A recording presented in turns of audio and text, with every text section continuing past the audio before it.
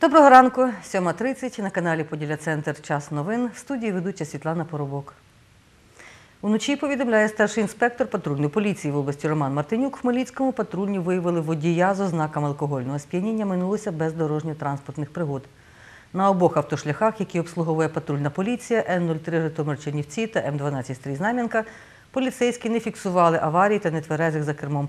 Порушень правил дорожнього руху за ніч патрульні зафіксували 49 випадків. У Хмельницькому на службу 102 за ніч надійшло 44 виклики.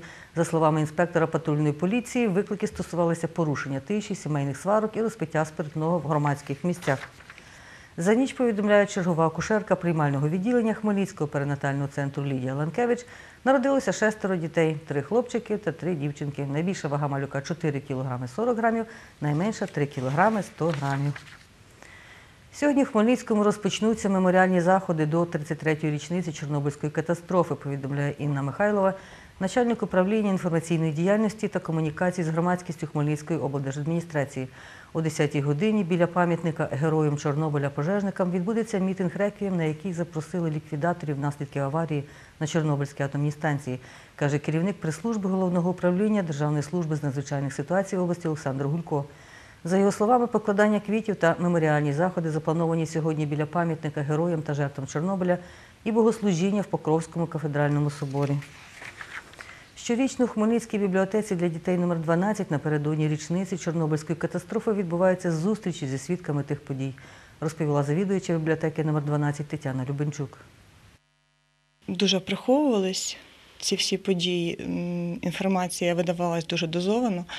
І коли слухаєш людину, яка була ліквідатором на, е, на ЧАЕС, ну просто дуже, дуже страшно. І дітям це взагалі цікаво, тому що інформації не дуже багато. А коли говориш з людиною, яка це все пережила, це зовсім не те, що ти читаєш в книжці чи бачиш по, по телевізору. Це зовсім інші відчуття. За словами ліквідатора Чорнобильської катастрофи Лідії Соболь, для запобігання наслідків розповсюдження радіації люди приїжджали з Києва, Прип'яті, Хмельниччини з усіх регіонів України. У нас на 1 травня було 100 при нормі 15-17.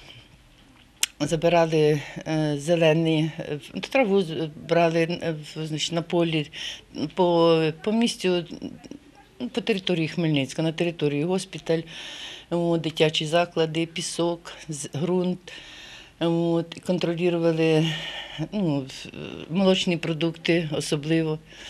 От, доставка молочних продуктів. Наша лабораторія робила дослідження. Приїхали, нам зразу організували помивку, зустріли нас, е, зустріла нас бригада Сумської санепідслужби, помістили в е, районній лікарні. На кровавих матрасах, подушках, так і в хірургії, хірургічне відділення. На другий день ми отримали вже е, постільну білизну. І так е, почалась наша, е, наш непосильний труд. Містику з посмертними записками із назвою Гоголь у Google покажуть у монотеатрі Кут. Автор і постановник п'єси Євген Курман. Виконавець головної ролі Володимир Смотритель. За його словами, події п'єси відбуваються в анатомічному театрі. Головний герой оживає і крізь нього проходять тексти посмертних записок Гоголя. Вистава відбудеться сьогодні о 18-й годині в монотеатрі Кут. Сьогодні з 10 до 16 години не буде електропостачання на деяких вулицях обласного центру у зв'язку із проведенням планових робіт. Про це повідомив начальник контакт-центру ПАД Хмельницькобленерго Іван Глапчастий. За його словами, світла не буде на вулицях Катіонівська, Львівське шосе, Вишнева, провулку Молодіжний та проїзду Катіонівський. На цьому наш випуск завершено. Далі на каналі Поділя Центр Твій ранок. Ми з вами зустрінемося рівно о 8